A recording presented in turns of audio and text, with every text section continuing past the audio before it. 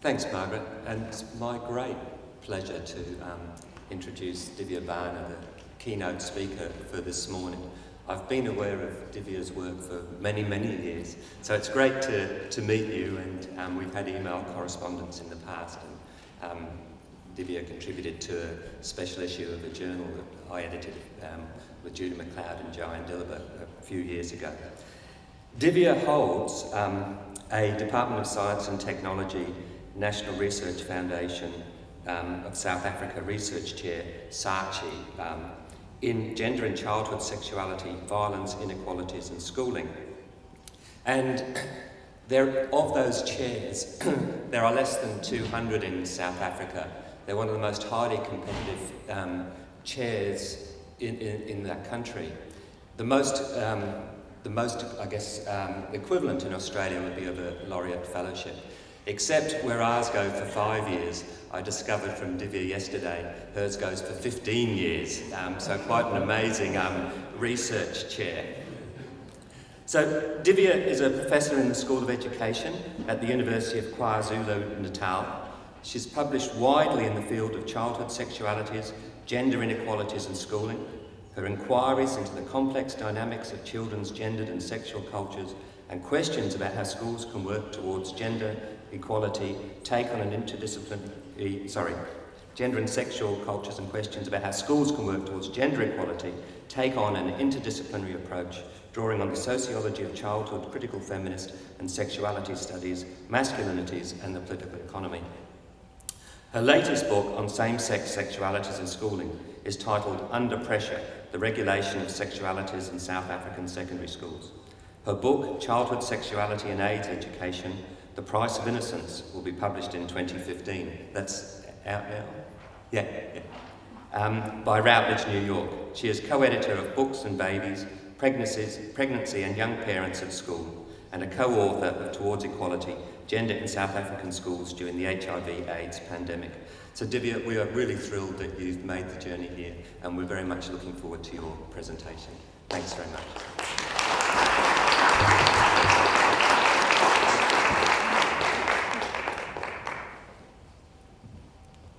Um, thank Martin. I'm extremely privileged and honoured to be your, one of your keynote speakers um, for this year, and I um, am really, really grateful for, for the generosity. Uh, firstly, I'd like to begin uh, to acknowledge the traditional owners of the land, pay my respects to elders, past, present, and emerging. So, my, the title of my paper is Gender and Childhood Sexualities in the South, Agency and Vulnerability. And I want to begin firstly by acknowledging um, the 1st of December. Today, the 1st of December, is World AIDS Day. In Australia, there were 1,236 new HIV diagnoses in 2013, with an estimated 26,800 people living with HIV infection. In South Africa, on the other hand, approximately 340,000 new infections were reported in 2013, with over 6.4 million people infected with the disease, with great gender disparity in the rates of infection, leading to global calls for gender equality and to end women and girls' vulnerability in the heterosexual spread of the disease, which is the case in much of sub-Saharan Africa. So the reason why I mentioned my title is when, I, when Martin invited me many months ago, I had no idea that my presentation will be on the 1st of December. And when I discovered that it's on the program, because there are many things that I could talk about, one of the things that I wanted to talk about was um, issues around same-sex sexualities, issues around culture, and the ways in which homosexuality is constructed as un-African.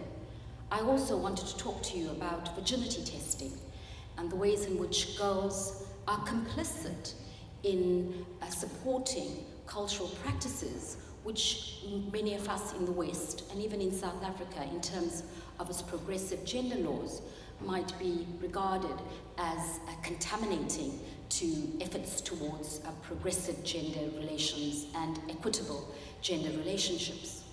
So these are the kinds of things that I was thinking about when Martin first invited me. And when I discovered that actually it's World AIDS Day, I have to remain loyal to the issues that matter in the South and emerge from the South.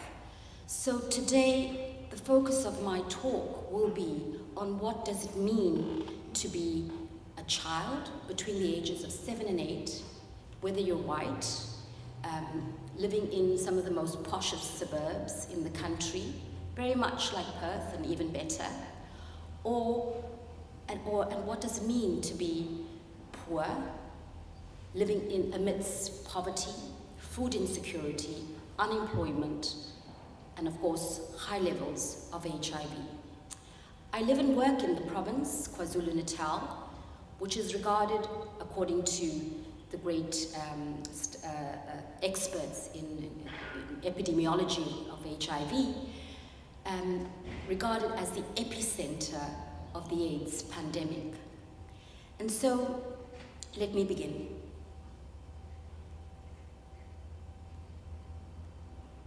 So, an overview of the paper. I want to just focus on the, some of the main findings, and whilst there are other findings, for the, for the purpose of this morning's um, paper, I want to only focus on two of them, which is AIDS and stigma and AIDS is rape. Okay, I'm not sure if you could see this, but I would read this. Never have a picture of a well-adjusted African on the cover of your paper or in it, unless that African has won the Nobel Prize, an AK-47, prominent ribs, naked breast, use these. If you must include an African, make sure you get one in Maasai or Zulu or Dogon dress. Among your characters, you must always include the starving African who wanders the refugee camp nearly naked and waits for the benevolence of the West.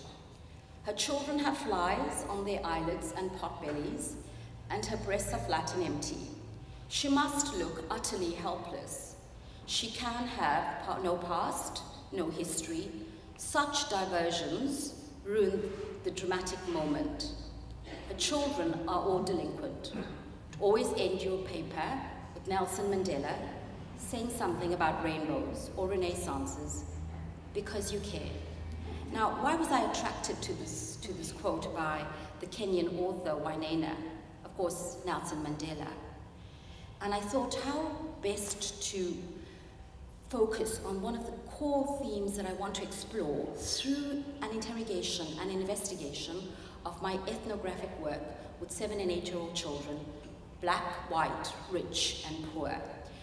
How best do I get the message across around agency and vulnerability? Um, as Martin um, indicated earlier, my work draws from a range of theories uh, and a range of fields, including childhood studies, where issues around agency in the West, in the North, um, are really important in trying to understand young children and young people in terms of their agentic capabilities and capacities. But I've also been inspired by Raewyn Connell. Now, my discussion this morning is not going to take you into a theoretical route using Raewyn Connell because we know about Raewyn and we know about his brilliant pieces of work, including Southern Theory. So I have been inspired by Raewyn Connell's Southern Theory. And I take on the challenge of developing an understanding of childhood sexualities in the South as it is enacted in unequal relations of power, lived in the crucible of poverty, gender inequalities, food insecurity, violence, and HIV. Like Connell, I do not propose a new orthodoxy. Rather, in my close focused ethnographic examination of children between the ages of seven and eight, I am mindful of the ways in which theorists in the North, and many of you who are sit here this morning, continue to influence my thinking about power and children's agency, and whose shoulders I stand on as I continue to interrogate gender and childhood sexuality in South Africa. Indeed, I am indebted to many of you and many of the theorists, including Barrie Thorne in the US and significant others in, in the UK and in Australia, that have influenced my work in relation to children's agency and the ability of children to exercise power. At the same time, however, and taking heed of Raewyn Connell, I pay attention to what is in and from the South. And being loyal to what is in and from the South means that we need to pay attention to the social and cultural conditions which continue to produce harmful gender and sexual relations. So a focus on the cultural conditions, on the circumstances through which young children navigate the routines of their everyday lives in and out of school is as necessary as is the focus on power and agency. And so that is my punchline for this morning's keynote. So how do we write and theorize about boys and girls and childhood sexualities in the South? And so under these conditions of economic misery and precarious social existences, African childhoods, as Wainaina has represented here, has often been represented as in crisis, catastrophic, and a calamity. Concerns about orphans due to disease, due to HIV and war, and the youth bulge, overpopulation, and brutal conditions of existence have reproduced the conceptualization of African childhoods as vulnerable, where girls in particular are rendered vulnerable and are made to submit, of course constructed as such, to male sexual predators and hordes of African young men lurking the province, uh, lurking the continent, impregnating innocent, pathetic, pitiful, utterly helpless, in Wainaina's words, women and girls. Now, my punchline is really about how do we keep agency and vulnerability in tension so that children are not constructed as pitiful and helpless, as passive um, blank slates, as research around the globe, particularly in the West, drawing from childhood studies, has illustrated so well, and which I too am indebted to. But how do we go beyond simply children's ability to act sexually, children's ability to do gender? How do we keep the tension between that kind of agency and the brutal conditions which continue to mark the experience in the South and in South Africa um, the experiences shaped by the histories and legacies of apartheid, the effects of colonization, the persistent economic inequalities, unemployment, neoliberal policies, which reproduce, in the main, the African poor. So, in developing an understanding of childhood and sexuality, I recognize that the, that the experience in the colonized world and in particular apartheid's vestiges of inequalities, requires different kinds of agendas for theory building than the familiar agendas that arise in the North. More recently, Becky Francis and Carrie Paechter have noted these concerns. So we recognize that some of the theoretical questions we discuss pale into insignificance when we consider, for example, the gender-based violence pervading some schooling systems in places distant from the metropolitan global north.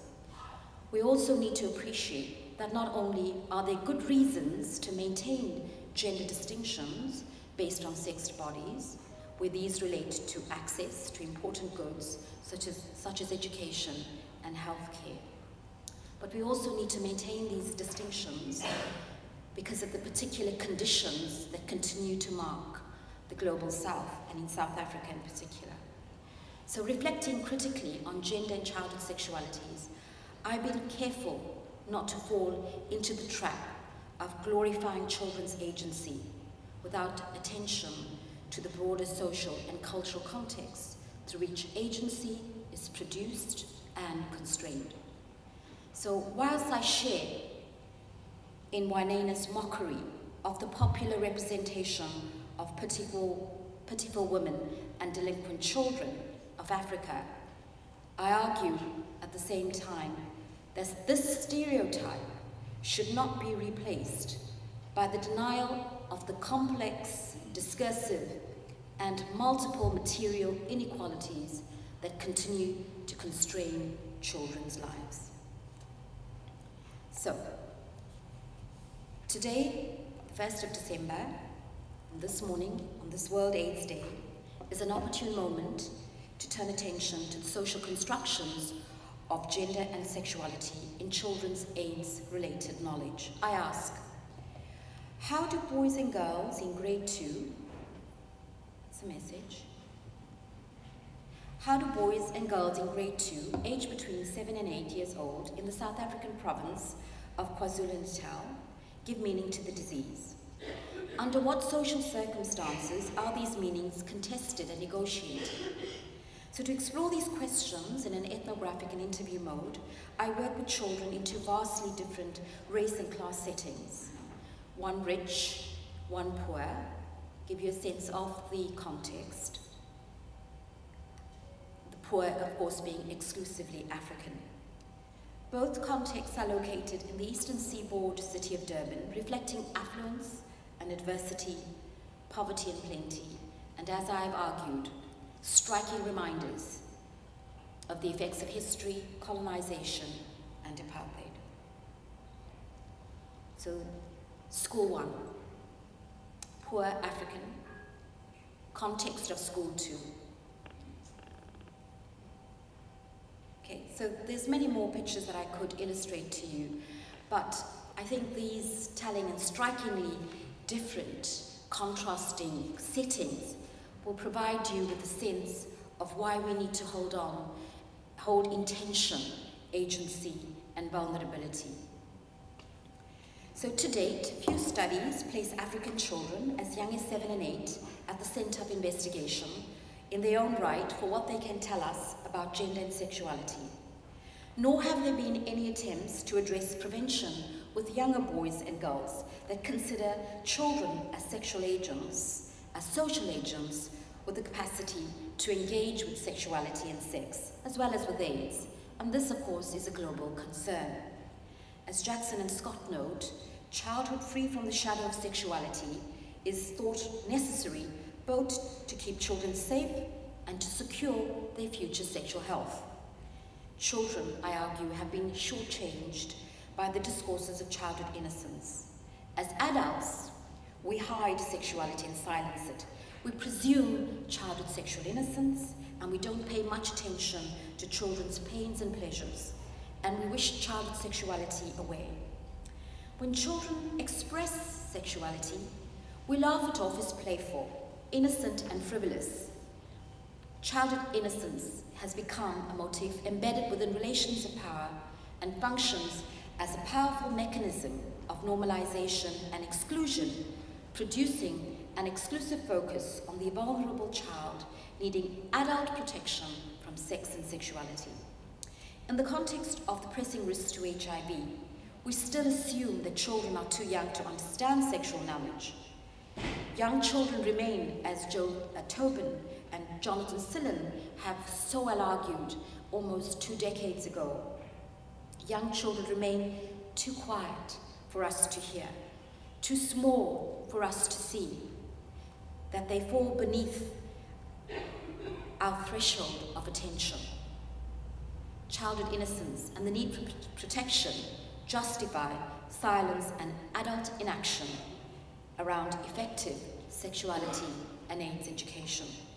And so the price of innocence, I argue, is the continued inattention and neglect to children's own conceptualization and experience of sexuality, gender, and in the context of HIV, um, their own vulnerability and agency in dealing with it. So central to my study are seven and eight year olds. and the complex operation of power.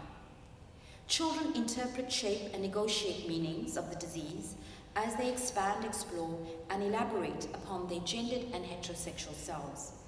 The process of transgressing, shaping, and negotiating gendered and sexual meanings of the disease is highly complex.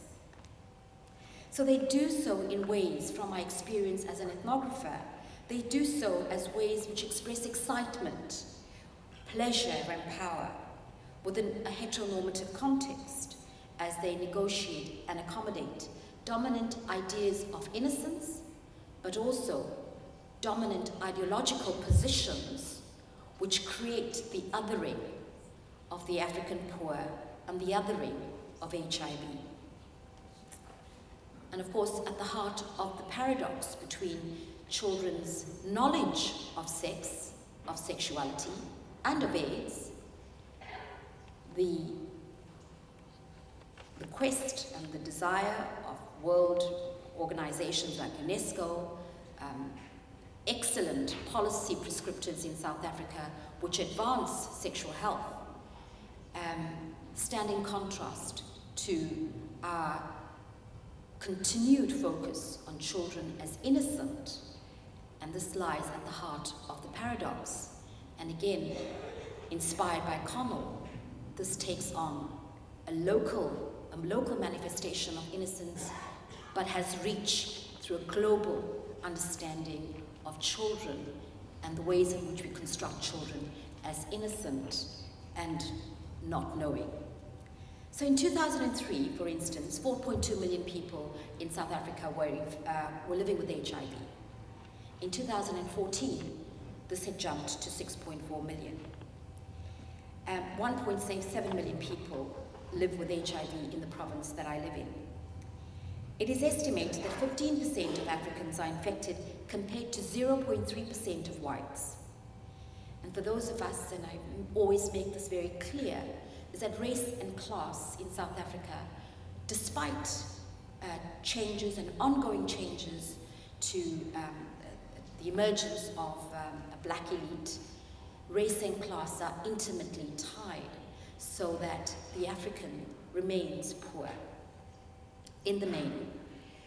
Um, much faith has been placed in educational initiatives to provide young people with relevant knowledge and skills to help them avoid the disease with specific emphasis on gender inequalities and unequal uh, power relations, especially within intimate partner relations, noting the heterosexual dimension in the spread of the disease. So in terms of, of policy, in terms of educational prescriptions, and in terms of um, UNESCO's um, the world of AIDS, we have a choice to make. We need to lead children, could lead children to find their own way through the clouds of misinformation, or we could take up challenge. So by focusing on seven and eight-year-old children as they give meaning to AIDS, I take issue with the conceptualization of children as passive and an inattention to gender and childhood sexuality. So one of the central aims then is to situate sexuality um, at the center of how we conceptualize and theorize children. And by paying attention to children in the diverse social context, the study also highlights race, class, gender, age, and sexuality, which cut through children's meanings of the disease and set limits to agency. And so I seek to break from the adult scripts of childhood innocence um, and draw attention to the active ways in which gender and sexuality is produced under social and economic, and of course, might I add, striking conditions of inequality. So overall then, a focus on boys and girls under the age of 10 might contribute to and reconfigure international debates on childhood innocence agency and sex and AIDS education. One that conceives of sexuality as central to children's meanings of AIDS, but, again, and I rehearse and repeat that, but remains faithful to the effect of material, cultural, symbolic, and discursive forces which constrain meaning and agency. In particular, I summon us as adults to rethink our special responsibility to children in the time of AIDS and to shed our taken for granted assumptions about innocence so that we will open our understanding to the creative ways in which children all over the world, and of course in the South, where research, um, children's voices in the South remain marginalized under strikingly unequal social conditions. So let me rehearse. What have I done thus far? Firstly, I have taken up the challenge of Raewyn Connell um, in Southern theory by making a case for the study of gender and childhood sexualities in South Africa in relation to both agency and vulnerability. And in this, challenge, in this challenge, I draw from the issues of and from the South. I explore the issues around agency and vulnerability, and of course, make a strong argument about local context, with the possibility of extending our understandings of children on a global context. And how do I do this? I've done this through the optic of AIDS. And I've argued that childhood sexual innocence is a paradox, especially in the context of children's right for increased knowledge of and need for information about sexuality and notions of childhood sexual innocence. So this is what I've done thus far. What is to come next? In the next part of the paper, I want to explore some of the theorizing with particular reference to agency and vulnerability. And in yesterday's session, which Kerry Robinson was leading, there was also discussion about vulnerability. And I realized that even in Australia, when particular marginalized communities are being talked about, the focus is vulnerability.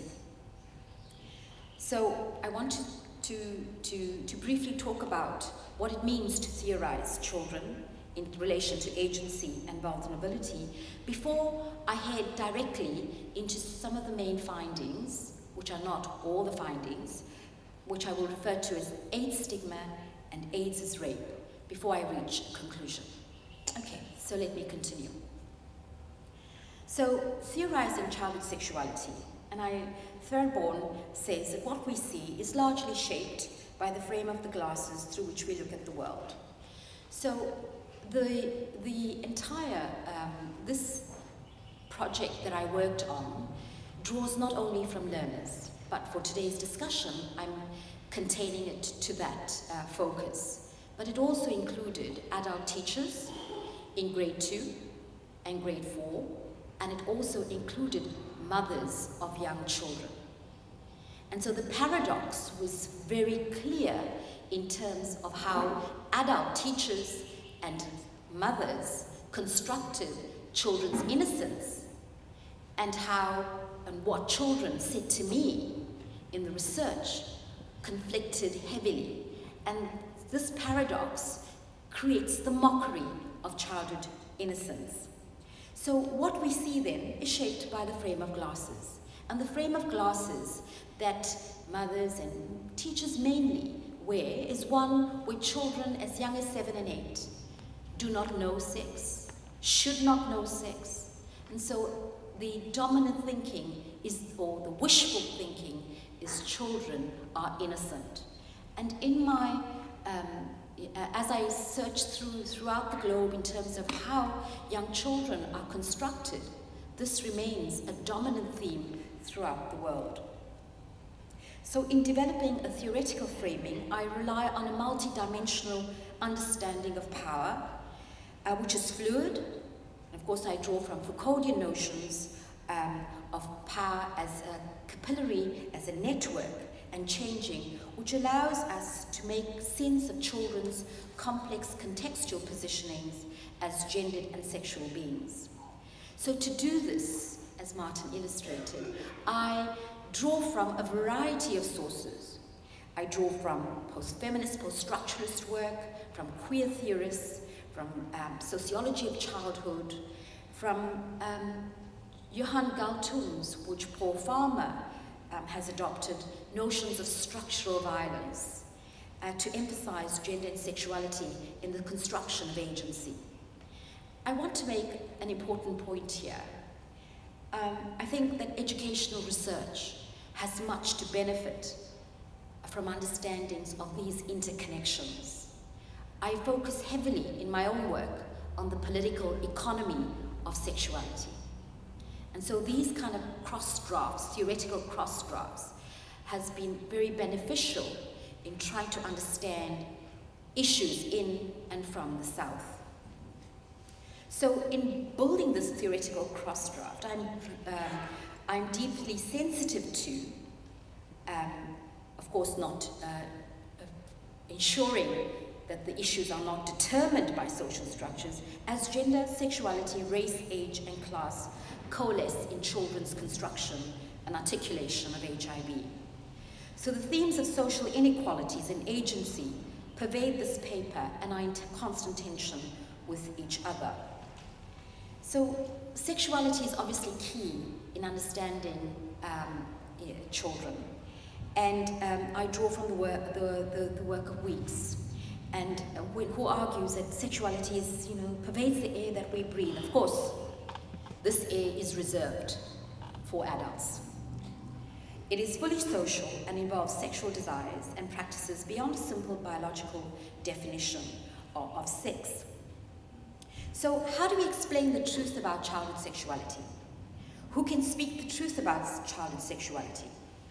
And so the dominant discourse of childhood sexual innocence creates certain truths marked by profound adult-child relations and inequalities um, and constructions of sexuality as in, as in conflict with childhood. So, um, an abiding concern then in this paper is the relationship between childhood sexuality and the construction of childhood sexual innocence, as well as the construction of AIDS as a sex-related disease.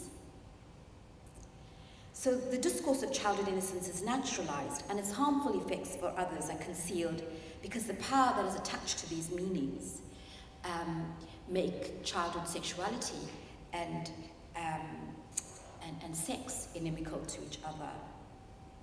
Now, um, when I draw from the work, uh, the, the, great theorists and many of you sitting here on childhood studies, the one important point that has been relevant to the work in South Africa has been the issue around agency.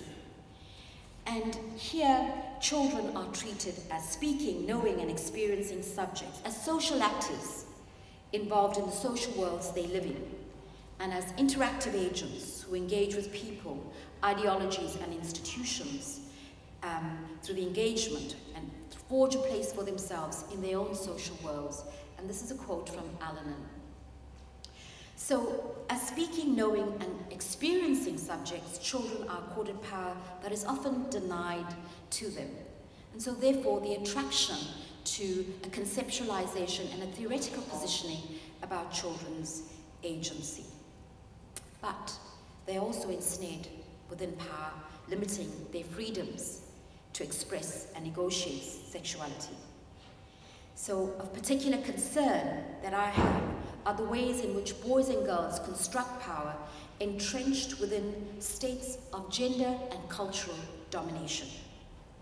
In South Africa, there's growing evidence of how schools are places where rigid understandings of masculinity and femininity lead in, in some instances to an extremely limited margin of freedom.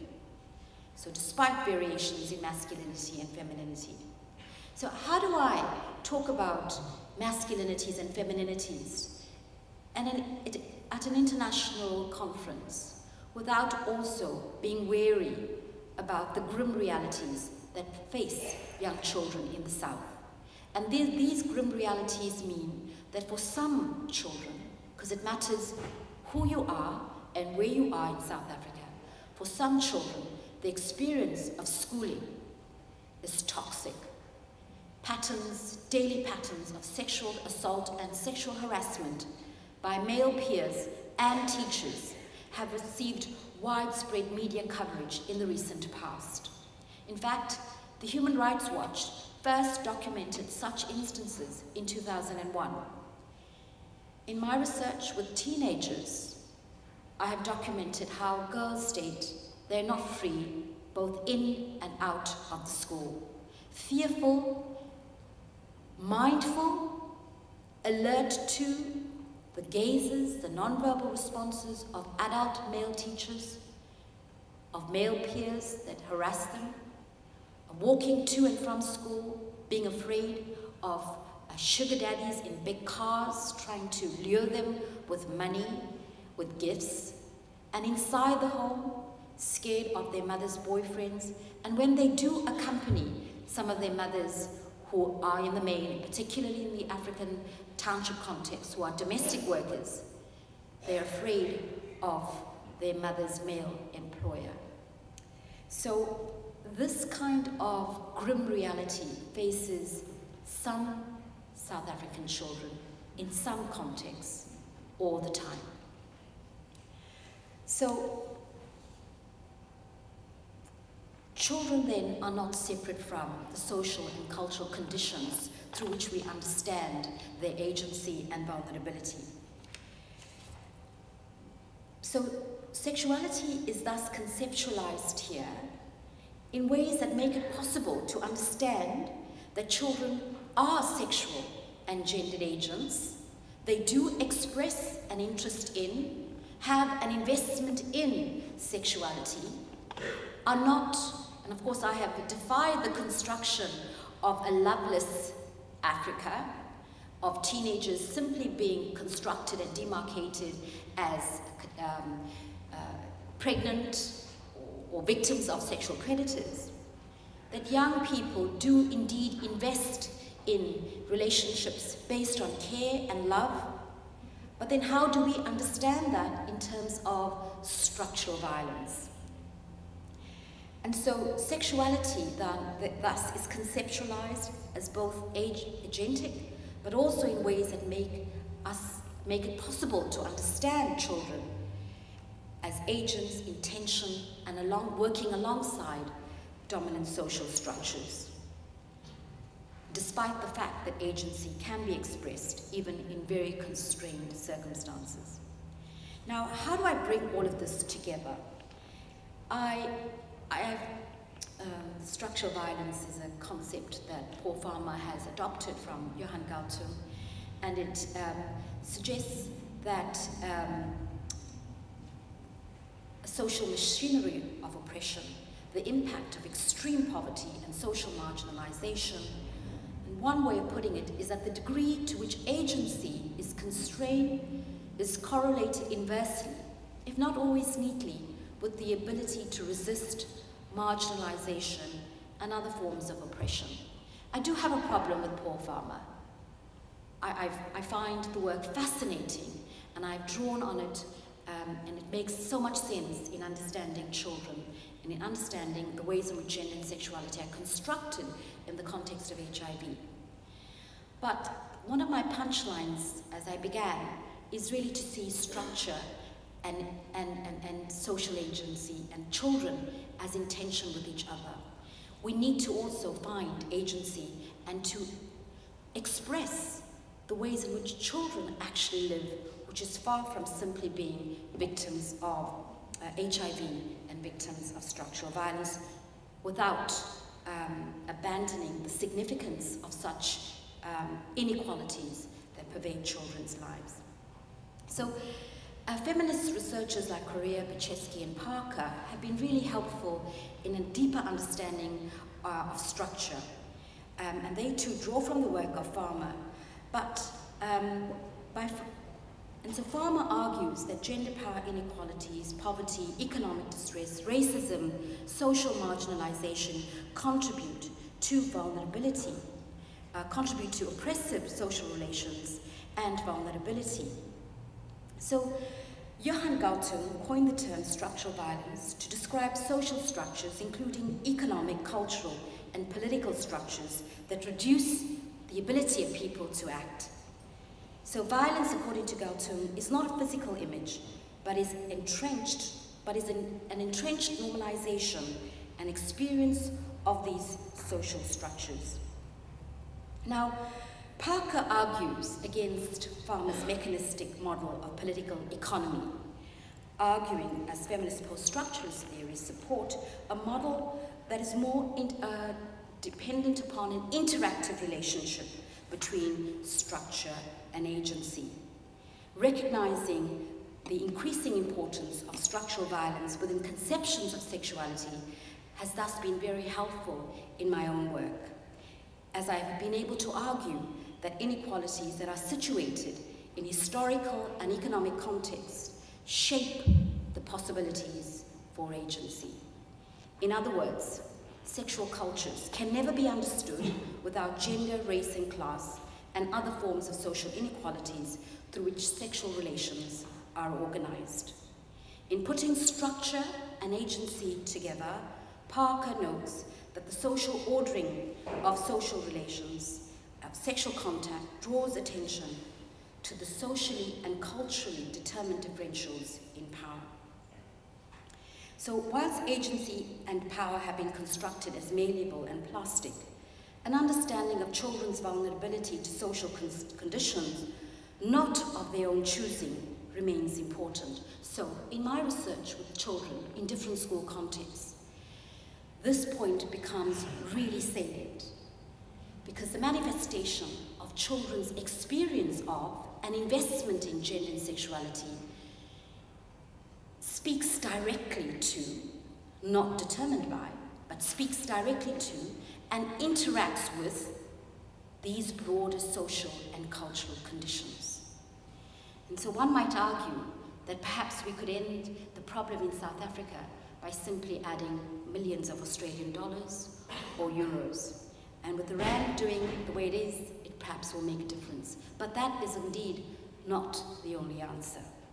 It is also about the ideologies of gender and sexuality, the cultural dynamics, and the ways in which both masculinities and femininities are constructed, which are based on relations of power and hierarchies.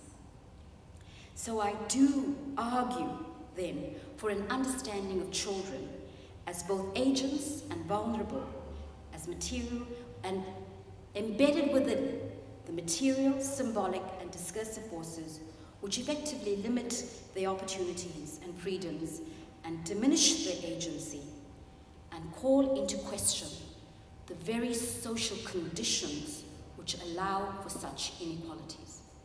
So let me go then straight into some of the rich uh, uh, empirical evidence which illustrates the points that I have been making. So in the first case, um, I want to talk about AIDS and stigma. And so for those of us working within a kind of post-structuralist and is fluid, the, the use of the word stigma seems problematic.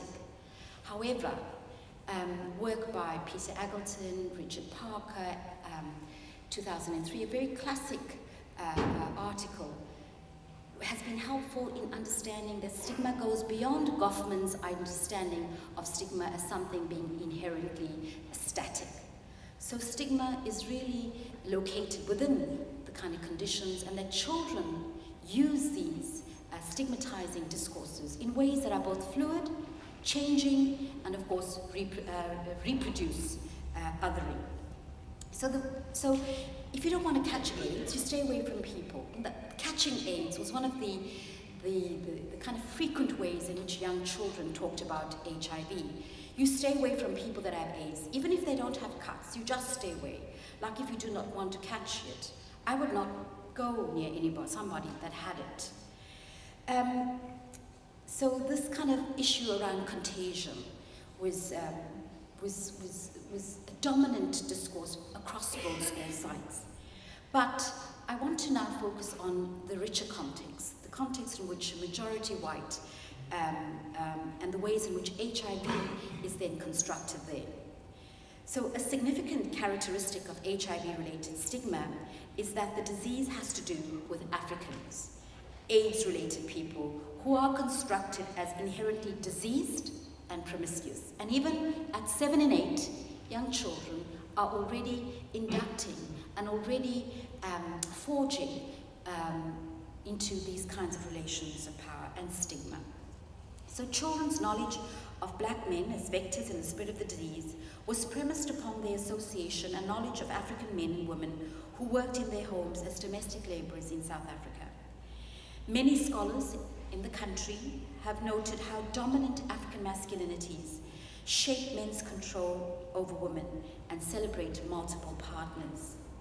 So children then talked about um, uh, not just contagion, but they also talked about domestic workers and um, young people, domestic workers in their homes. For example, Beatrice.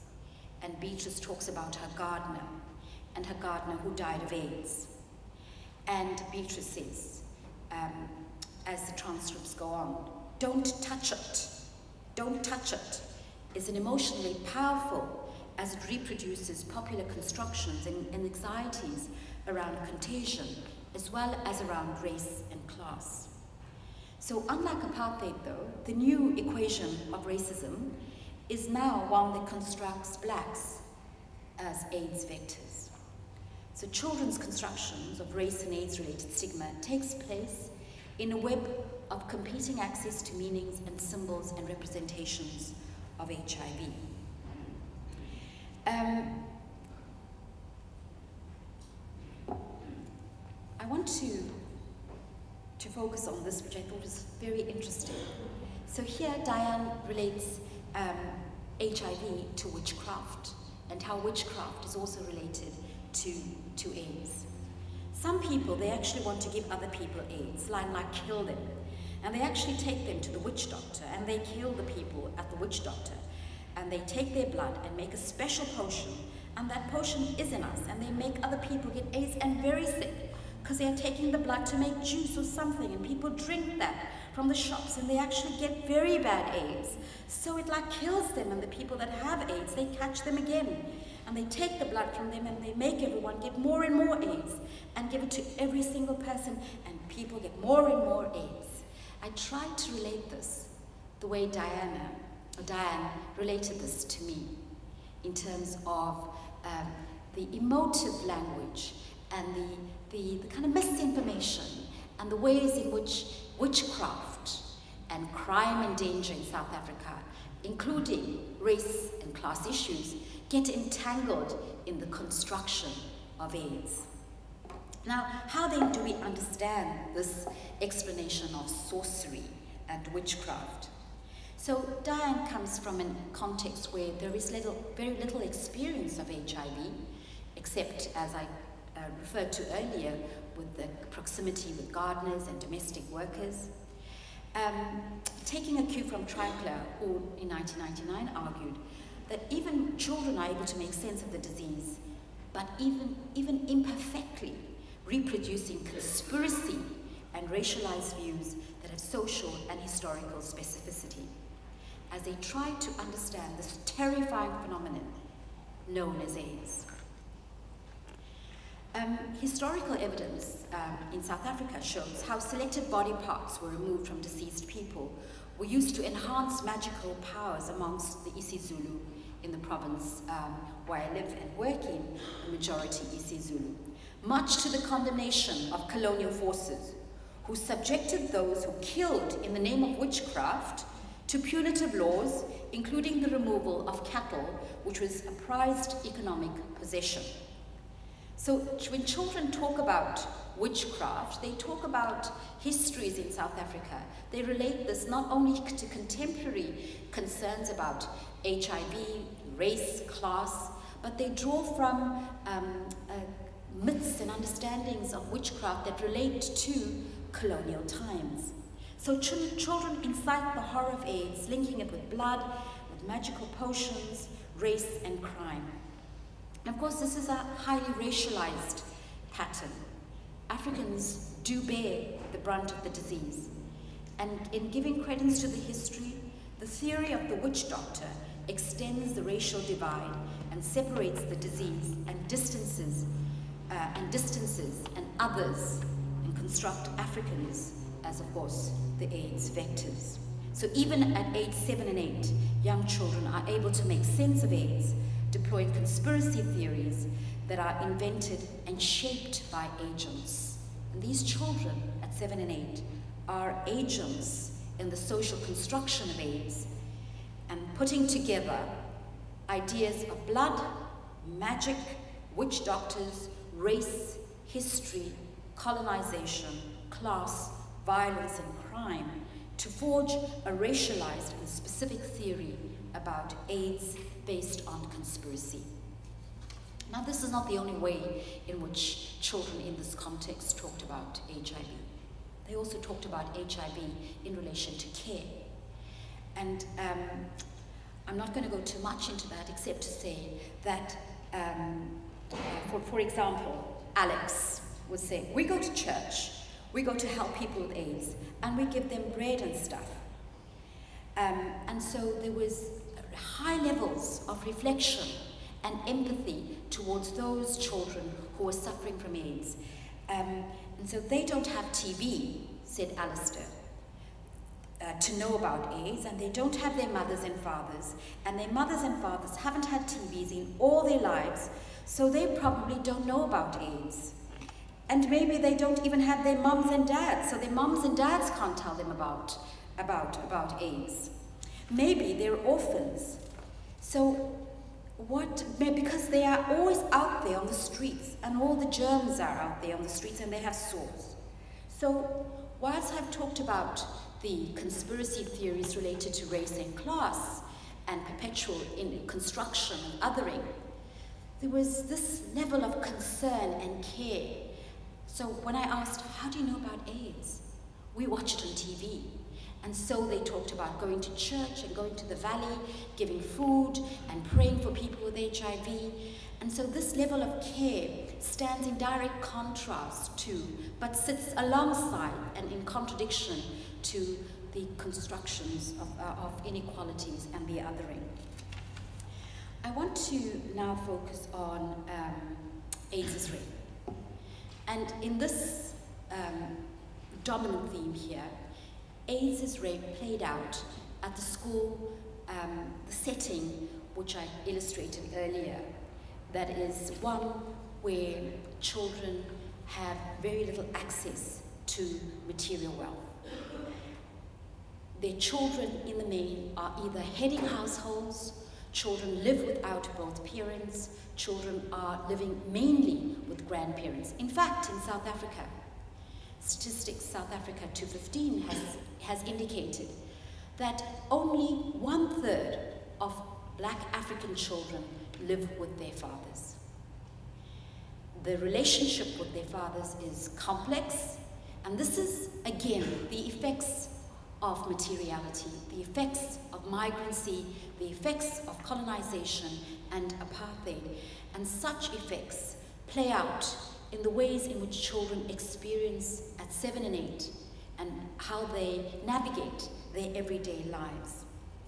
So, AIDS' rape is, is um, a striking understanding of AIDS. So, when I ask children here, what is AIDS? They said rape. What is rape? AIDS. So, this was a combination. I always pray that I don't get it. I will stay away from boys. Um, so men are regarded as the vectors in the spread of the disease. So sexual coercion and male culpability remain a powerful gaze upon children's responses to AIDS. Male violence against children and women and girls um, is prevalent in many settings and in South Africa an acute social problem. And it is often the root cause of women and girls' heightened vulnerability to AIDS in South Africa, as Debbie Posel had noted, um, violence is often the scandal of man manhood. And both boys and girls lock into the scandal as they illustrate and give meaning to HIV. Um, men and boys are especially targeted as vectors in the spread of the disease. The engagement in violent and coercive sexual relations, of course, is always encouraged for real men, and both boys and girls confirm, confirm the status of adult men at the apex of age gender hierarchies who feed on male entitlement to sex through violence, heightening women and girls' risk to disease. Now, there are many stories that come out of South Africa, heinous as they might be, including the myth that um, having sex with a virgin cures HIV. Um, in fact, that such uh, terrible responses to uh, these myths has seen baby rapes.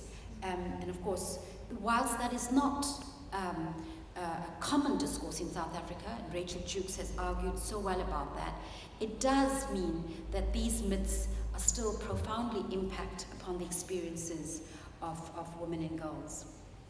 So um, I want to reiterate the point around um, girls' fear of men. The fear of men was widespread in the focus group interviews or the, the discussions and the conversations that I had with children.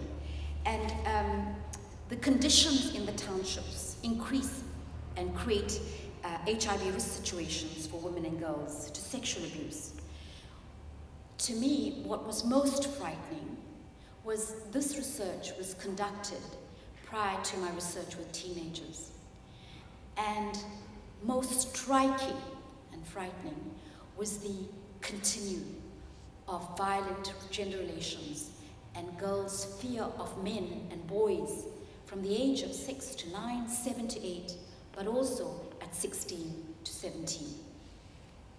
So um, the context is not of their own making, and even under the circumstances, the girls talk creatively about the resources they could use in protecting themselves, like fleeing from, uh, fleeing from people, from bad men, going straight home, not talking to anybody on the way from school, staying away from boys, and rejecting the offers of sweets, and finally obeying parents. I want to just take a minute here about sweets and about what it means to be a seven and eight year old walking to and from school in the conditions that I just illustrated here. What does it mean to walk to and from school under such conditions without adult um, uh, supervision, in the absence of um, care, in the absence of uh, food security, and in the context of high levels of unemployment and poverty.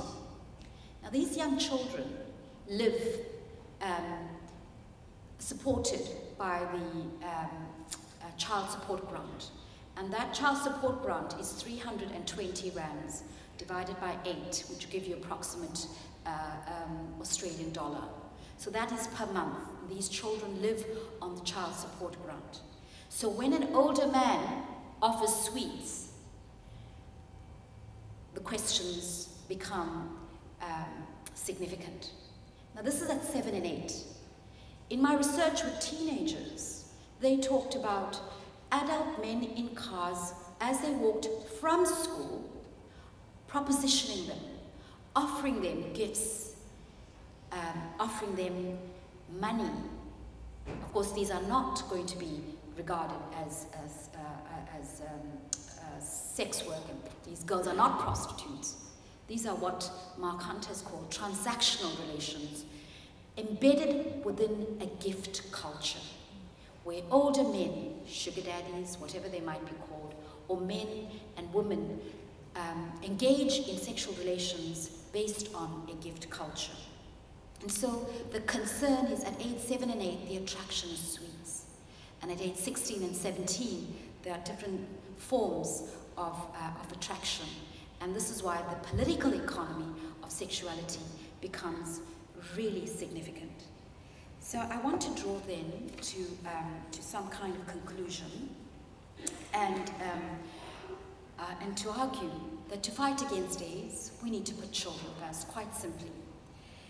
For too long, children under 10 have been left out of gender, sexuality, and health education as agents in their own right.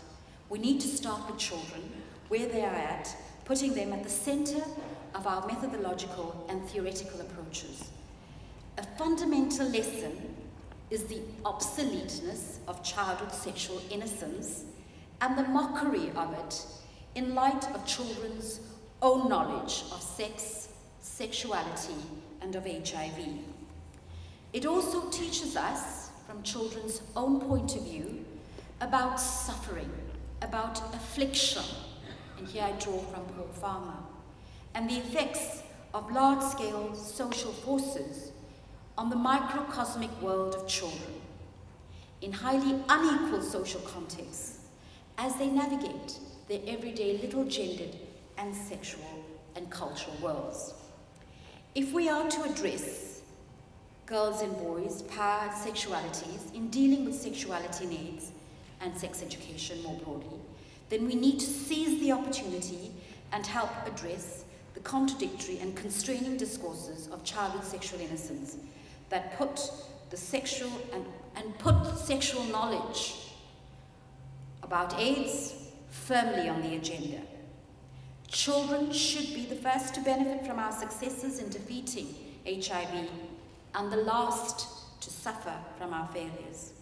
So says Anthony Lake of UNICEF.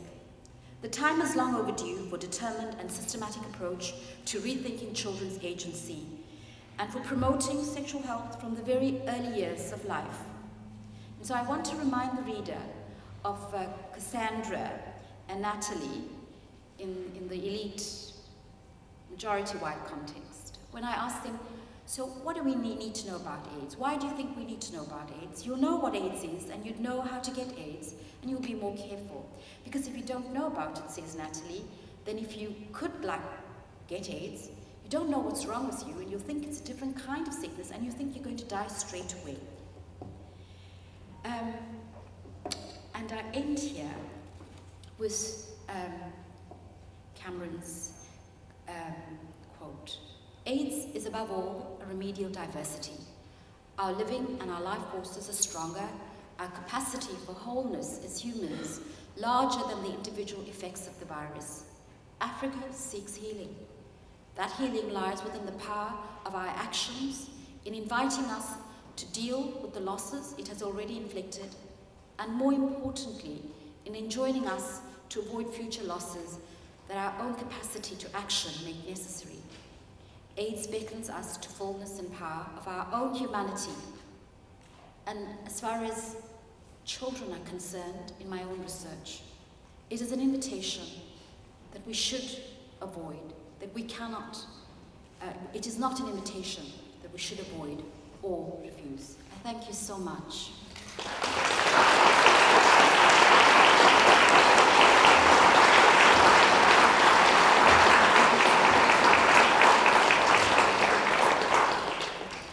Thanks.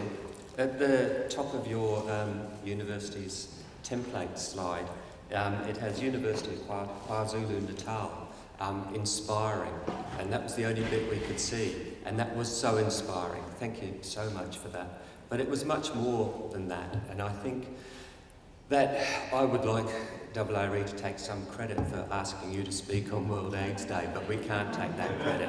Um, and thank you for bringing that to our attention. I think what you've done is you've, as, as you said, you brought us issues from and of the South, and you challenged us to think about that. You've asked us to think about our frames of glasses, the, the, you know, the frames of glasses that we look through, and clearly that's something you're doing with your work. I think that the, um, the idea of summoning us to shed, shed our assumptions is so important, and many of us here, I think, grapple with that tension of vulnerability and agency how do we address um, communities that are complete, you know, clearly oppressed without using deficit constructions of them? And I think that that's what you really forced us to think.